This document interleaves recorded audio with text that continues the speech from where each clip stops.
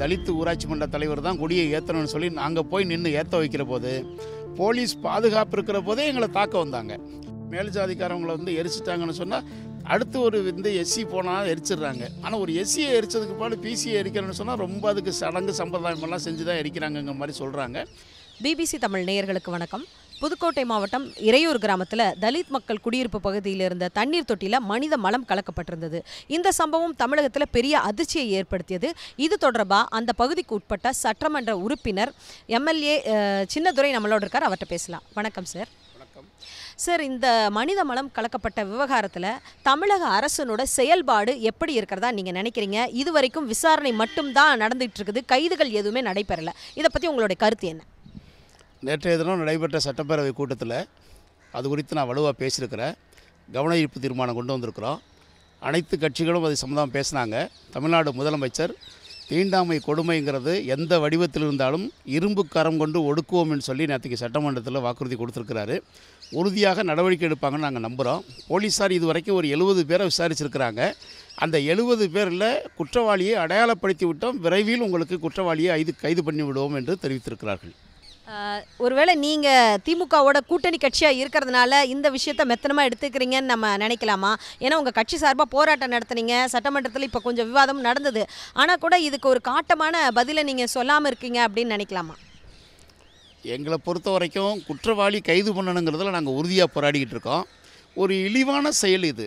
தமிழ்நாட்டுக்கே ஒரு அவமானமான ஒரு செயலாக தான் நாங்கள் பார்க்குறோம். அது கந்தரகோட்டை தொகுதிக்குள்ளே நடந்திருக்குங்கிறதுக்காக வேண்டி மிகப்பெரிய வருத்தத்தையும் வேதனையும் நாங்கள் அடைஞ்சிருக்கிறோம். நிச்சயமாக இது சம்பந்தமான நடவடிக்கையை உறுதியாக குற்றவாளியை கைது பண்ணுற வரைக்கும் நாங்கள் போராடுவோம்னு தமிழ்நாடு அரசுக்கு தெரிவிச்சிருக்கோம். சரி இப்போ இந்த சம்பவம் பற்றி விசாரிக்க வந்தப்போ அங்கே மாவட்ட ஆட்சியர் கவிதா ராமு வந்து என்ன பண்ணாங்க? பக்கத்தில் இருந்த என்னென்ன மாதிரியான பிரச்சனைகள் இருக்குன்னு கேட்டப்போ அங்கே வந்து இரட்டை கோவலை முறை இருக்கிறது தெரிய வந்தது.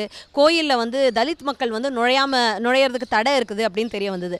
நீங்கள் அந்த சட்டமன்ற தொகுதியை வந்து ரெப்ரசன்ட் பண்ணுறதுனால இதுக்கு முன்னே இந்த பிரச்சனைகள் இது மாதிரி வெளியில் வந்திருக்கா? இதை பற்றி நீங்கள் எதுவும் அரசாங்கத்தினுடைய கவனத்துக்கு எடுத்துகிட்டு போயிருக்கீங்களா? அந்த ஊரை பொறுத்த வரைக்கும் அந்த மாதிரியான சம்பவங்கள் இப்போ வரைக்கும் இல்லைன்னு தான் சொல்லிகிட்டு இருக்காங்க. அந்த தலித்து பகுதி மக்களை பொறுத்த வரைக்கும்.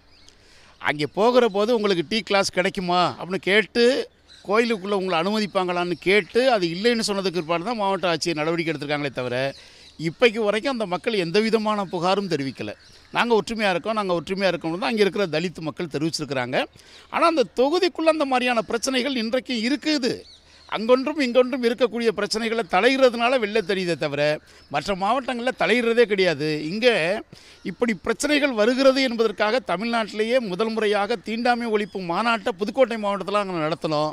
அந்த மாநாடு நடத்தியதற்கு பிறகு தான் மக்கள்கிட்ட ஒரு விழிப்புணர்வு வருது. எதிர்த்து போராடணுங்கிற சிந்தனை வந்திருக்குது. இன்றைக்கி நீங்கள் எல்லா கிராமத்துக்குள்ளேயும் சின்ன சின்ன பிரச்சனைகள் வந்தாலும் அதிகாரியை பார்க்கணும் போராடணும் அதை ஒழிக்கணுங்கிற முடிவுக்கு இன்றைக்கி மக்கள் வந்திருப்பதற்கு எங்களுடைய மாநாடு மிகப்பெரிய அளவுக்கு உந்து சக்தியாக இருந்திருக்கிறது என்று நான் பார்க்குறேன். இப்போ நீங்களும் வந்து ஒரு தலித் உறுப்பினராக இருக்கிறதுனால நான் உங்கள்கிட்ட கேட்குறேன் இப்போ இந்த மாதிரியான போராட்டங்கள் நடத்துறது நீங்கள் வந்து இதை அடுத்த கட்டத்துக்கு எடுத்துகிட்டு போகிறது அப்படின்னு சொல்கிறீங்க இந்த கடந்த சுதந்திர தின நாளன்னைக்கு கொடியேற்றுறதுக்கு கூட அரசாங்கத்தினுடைய பாதுகாப்போட தலித் தலைவர்கள் வந்து கொடியேற்றின சம்பவம் நடந்தது. இது போல் காவல்துறையோட பாதுகாப்போட நடக்கிற மாற்றம் அப்படிங்கிறது நிரந்தரமாக இருக்கும்னு நினைக்கிறீங்களா? நிரந்தரமாக இருக்கும்னு நாங்கள் நம்பலை.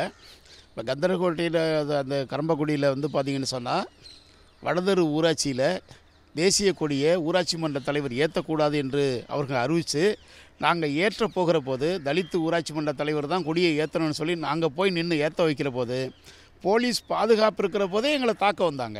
ஒருவேளை அன்றைக்கி பத்திரிகை ஊடகங்கள் மட்டும் எங்களை இல்லைன்னு சொன்னால் அந்த இடத்துல அடித்து நொறுக்கியிருப்பாங்க. அந்த அளவுக்கு பெரும் ஆயுதங்களோட கல் கரட்டி எல்லாத்தையும் தூக்கிட்டு ஆண்கள் பெண்கள் சகட்டுக்கு வந்தாங்க. ஆனாலும் திரும்பவும் போலீஸாரை வச்சு நிர்பந்தம் பண்ணி போராடி தேசிய கொடியை ஏற்ற வச்சோம்.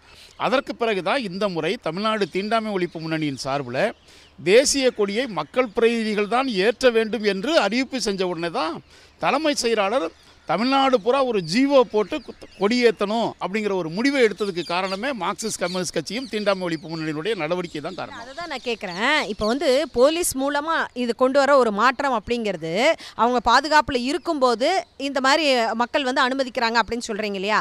அது வந்து சமூக மாற்றமாக மாறுறதுக்கு ரொம்ப நாள் ஆகும்னு நீங்கள் நினைக்கிறீங்களா? இன்றைக்கு விழிப்புணர்வை ஏற்படுத்துறதுக்கே இவ்வளவு காலம் எழுபத்தி அஞ்சு வருஷம் கடந்து வந்திருக்கிறோம். ஆனாலும் நம்ம போக வேண்டிய தூரம் ரொம்பன்னு தான் தெரியுது. அரசியலமைப்பு சட்டத்தில் தீண்டாமை ஒழிக்கப்பட்டதுன்னு சொன்னாலும் தீண்டாமை இன்னும் ஒளிந்தபாடு இல்லை. தீண்டாமையை ஒழிக்கிறதுக்காக அனைத்து பகுதி மக்களையும் ஒன்றாக திரட்டி ஒழிப்பதற்கான ஒரு வலுமிக்க போராட்டத்தை நடத்தணும். அப்போ தான் ஒழிக்க முடியும்னு நாங்கள் நம்புகிறோம் வேற உங்களுடைய மாவட்டத்தில் வேற என்னென்ன விதமான தீண்டாமை சம்பவங்கள்லாம் நடைபெறதா நீங்கள் நினைக்கிறீங்க? இந்த சுடுகாடு பிரச்சனை பற்றி எல்லாம் கூட சொல்லியிருந்தீங்க முன்ன. கொஞ்சம் சொல்லுங்க அதை இப்போவும் மாவட்டம் முழுவதும் சுடுகாடு தனித்தனியான ஜாதிக்கு ஒரு சுடுகாடு தான் இருக்குது ஊருக்கு ஒரு ஊருக்கு ஒரு சுடுகாடு என்னைக்கு வருதோ அன்றைக்கி தான் வந்து இந்த சுடுகாட்டு பிரச்சனைக்கு தீர்வு வரும்னு சொல்லி நம்ம சொல்லியிருக்கிறோம். ஆனாலும் இன்றைக்கும் சமத்துவ மயானம்னு சொல்லியெல்லாம் அறிவிச்சிருக்கிறாங்களே தவிர அங்கெல்லாம் சமத்துவமும் கிடையாது ஒன்றும் கிடையாது. இப்போவும் சாதிக்கு ஒரு சுடுகாடு என்பது தான் இருக்குது. ஆனால் வந்து இடமே இல்லைங்கிறாங்க. ஆனால் சாதிக்கு ஒரு சுடுகாடை மட்டும் வச்சுருக்கிறாங்க. தமிழ்நாடு அரசு ஊருக்கு ஒரு சுடுகாடுன்னு என்றைக்கு அறிவிக்குதோ அன்றைக்கி தான் அந்த பிரச்சனைக்கெல்லாம் தீர்வு வரும்னு நாங்கள் நம்புகிறோம் சமத்துவ மயானம் இருக்கிற இடத்துல கூட அந்த தக பிரச்சனைகள் இருக்குது. எரிமேடைகள் இருக்கிற இடத்துல கூட பிரச்சனைகள் வருது. எரிமேடைகள் இருக்கிற இடத்துல பிரச்சனை வருதுன்னு சொன்னாக்கா அந்த ஒரு மேல்ஜாதிக்காரவங்களை வந்து எரிச்சிட்டாங்கன்னு சொன்னால் அடுத்து ஒரு இந்த எஸ்சி போனால் எரிச்சிடுறாங்க. ஆனால் ஒரு எஸ்சியை எரிச்சதுக்கு பாடு பிசியை எரிக்கிறேன்னு சொன்னால் ரொம்ப அதுக்கு சடங்கு சம்பிரதாயமெல்லாம் செஞ்சு தான் எரிக்கிறாங்கங்கிற மாதிரி சொல்கிறாங்க ஆனாலும் வந்து மன ரீதியான மாற்றம் என்பது இன்னும் ரொம்ப தூரம் நம்ம போக வேண்டியிருக்குன்னு தான் நான் பார்க்குறேன். இப்போ நீங்கள் வந்து சந்தித்த அந்த தீண்டாமை பிரச்சனைகளை பற்றியெல்லாம் சொன்னீங்க இல்லையா? என்னைக்காவது நீங்கள் அந்த மாதிரி நினச்சது உண்டா? இப்படி ஒரு வலி மிகுந்த ஒரு அனுபவம் நம்மளுக்கு இருக்குது அப்படிங்கிற மாதிரி நீங்கள் என்னைக்காவது நினச்சது உண்டா? அதாவது கல்வியில் முன்னேறி இருக்கிறோம் மற்ற பொருளாதாரத்தில் முன்னேறி இருக்கிறோம் அந்த சமூகமாக நம்ம மாறினாலும் கூட இந்த சாதி வேறுபாடுகள் தொடர்பாக இன்னும் நாம் என்ன மாதிரியான சிந்தனையில் இருக்கிறோம்னு நீங்கள் நினைக்கிறீங்க? மன ரீதியாக ஸ்- சாதி ஒளிந்திருக்கிறது என்ற முடிவுக்கு போகவே முடியாது. இன்றைக்கு நீங்கள் பார்த்தீங்கன்னா சாதிய பாகுபாடு என்பது பல கோணங்களில் பல வடிவங்களில் இருக்கத்தான் செய்யுது. ஒரு சட்டப்பேரவை உறுப்பினராக வந்ததற்கு பிறகும் கூட அத்தகைய ஒரு மன பாதிப்பு என்பது பல சம்பவங்களில் என்னால் பார்க்க முடியுது. ஒரு பத்திரிக்கையில் பேர் போடுறவங்க கூட நீங்கள் பார்த்தீங்கன்னா எப்படி பேர் போடணுங்கிறதுக்கு வித்தியாசமாக போடுவாங்க. சின்னதாக போடுறது பெருசாக போடுறது முன்னாடி போடுறது பின்னாடி போடுறது அல்லது பேரே போடுறது இல்லைங்கிற மாதிரியெல்லாம் நிலைகள்லாம் கூட உருவாக்குவாங்க. ஆகவே எம்எல்ஏ ஆயிட்டதுனாலே எல்லாம் மாறி போயிடுச்சுங்கிற மாதிரியான கற்பனை எல்லாம் கிடையாது. எம்எல்ஏ ஆனதுக்கு பிறகும் கூட இத்தகைய போக்குகள் இருக்குங்கிறத எங்களால் புரிஞ்சுக்க முடியுது.